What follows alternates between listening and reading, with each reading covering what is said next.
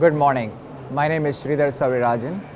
I'm the Director of Model Risk Management at SAS uh, in the US. Uh, I work in the US.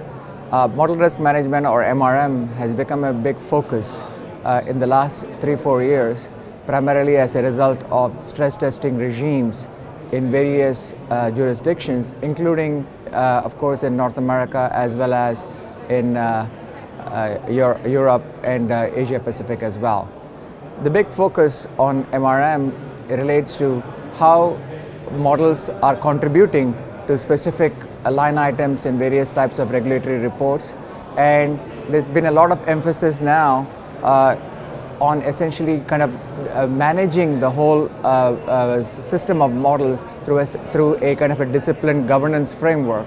And this includes essentially managing the inventory, managing the entire life cycle of the models so that you know what uh, every aspect of the life cycle is well controlled.